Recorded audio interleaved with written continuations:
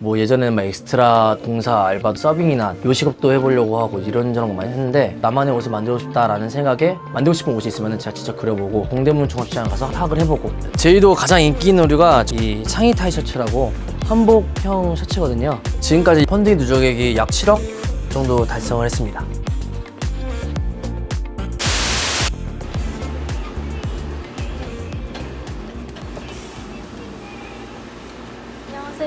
아, 네, 안녕하세요. 네, 저는 제이도 메이커 도준입니다. 네, 안쪽으로 들어가실까요? 네.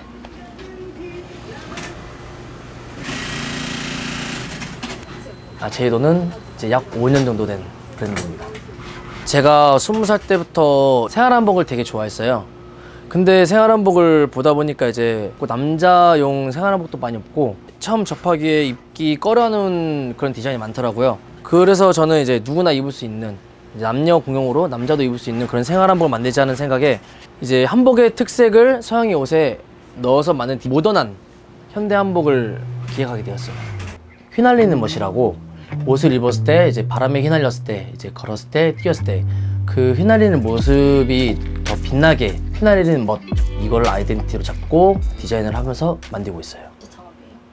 창업은 첫 번째인데 이제 도전을 많이 해봤죠. 뭐 예전에는 막 엑스트라도 해보고 공사 알바도 해보고 시- 서빙이나 요식업도 해보려고 하고 저희 부모님이 원래부터 의류 쪽 일을 하셔 계셨어요. 학생 때부터 성인 때까지 제가 아무리 싫어도 정이 붙게 되고 가장 잘 알게 된 종목이 의료가 돼가지고 제가 인가공 일을 하면서 일하는 도중에 이제 가- 천천히 그 흐름과 가정을 깨우치게 되었어요. 그 후부터 나만의 옷을 만들고 싶다라는 생각에 하나하나 아날로그 형식으로 뛰어들었어요.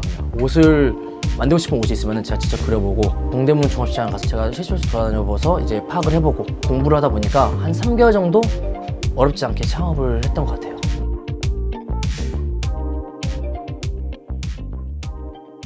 제이도 가장 인기 있는 오류가 저희 코트와 셔츠인데 그 중에서 작년에 사랑 많이 받은 게 이제 이 창의 타이 셔츠라고 한복형 셔츠거든요. 카라 형식의 소매가 저희만의 한복 공법을 만들어지고 전통 문양을 저희가 현대 옷에 넣었어요. 이런 식으로. 제가 한복 창의를 되게 좋아해요. 휘날리는 멋이라는 아이덴티티가 이 창의에서 나온 거라고 봐도 무방할 만큼 좋아해서 이 셔츠의 포인트 또 이제 이렇게 뒷면에 절개가 들어가 있거든요. 이 셔츠는 저희 이제 와디즈에서 작년에 많은 사랑 받았는데 이번에 이제 작년 12월 동계 그 동행 축제랑 서울 어워드에서 우수 상품으로 선정이 되었어요.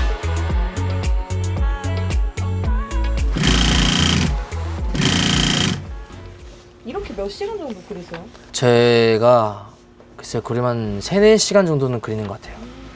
셔츠 그리다가도 갑자기 어 이거 이쁜데 아 그려볼까 하면서 막 그려보고 개발을 하려면은 그림을 그려야 되니까 아 왼손으로 그리시네요. 네 맨손잡이여가지고 원래는 애니메이션을 좋아해서 좀 디지털 애니메이션 할까 이런 거였는데 의류 쪽이 오히려 저는 더 좋더라고요 그림을 그릴 때 그러다 보니까 이제 자연스럽게 의류 쪽으로 많이 그리게 된 것 같아요.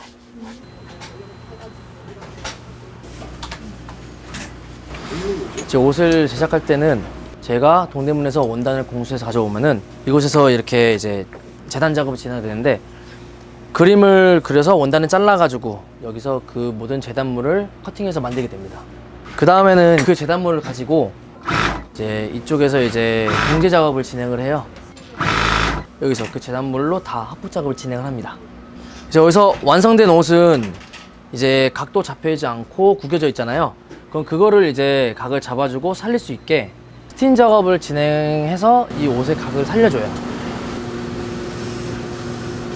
이제 마지막 이 열 작업 끝난 옷을 가지고 이쪽으로 이렇게 모이게 돼요.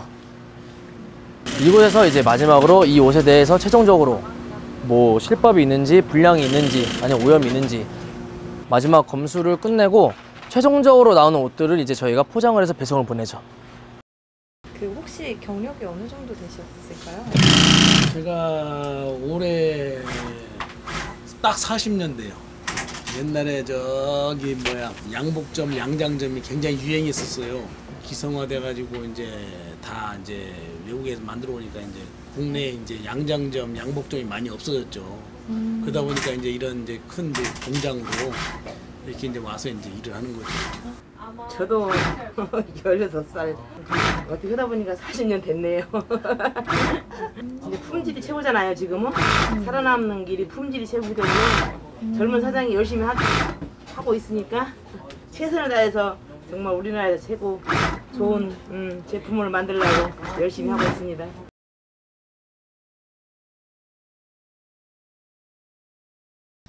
찍는 거야? 대표님? 이거 바꿔서 드릴까? 네. 지금 와디즈 하고 계신 거예요? 아, 네. 지금 저희 지금 네 개 정도 펀딩을 진행하고 있는데 두 개는 아직 오픈 예정이고 지금 두 개는 진행 중에 있어요. 그래서 지금 어떻게 되고 있는지 지금 확인하고 있습니다.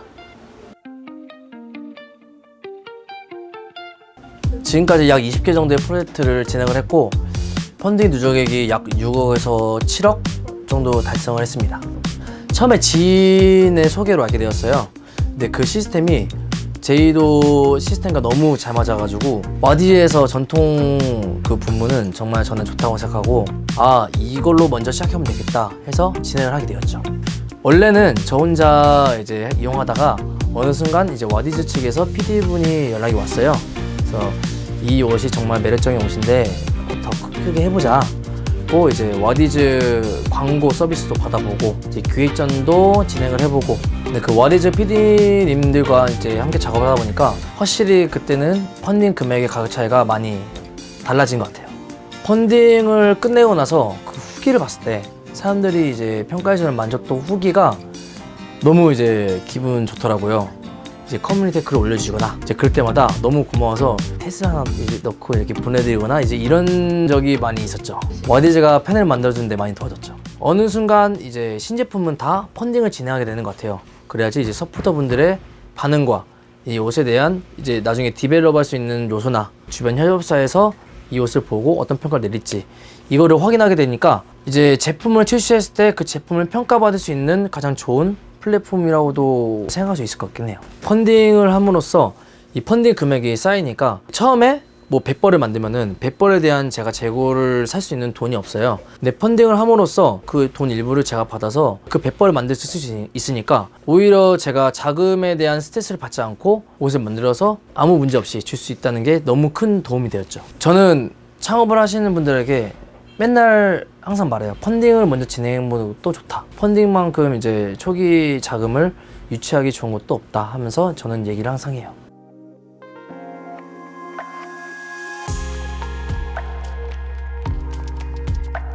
제이도는 국내에서 한, 한국의 명품을 만들기 위한 목표로 계속 꾸준히 진행을 할 거고 해외 같은 경우에는 해외 크라우딩 펀딩을 진행하거나 해외에서도 그 특정 나라의 전통 의상을 서양의 옷에 가미하는 의상을 만들어 보고 싶은 것도 도전하고 있어요. 어떻게 보면 일본이라 치면은 생활 일본 옷 이런 식으로도 한번 도전해 보고 싶은 계획이 있어요.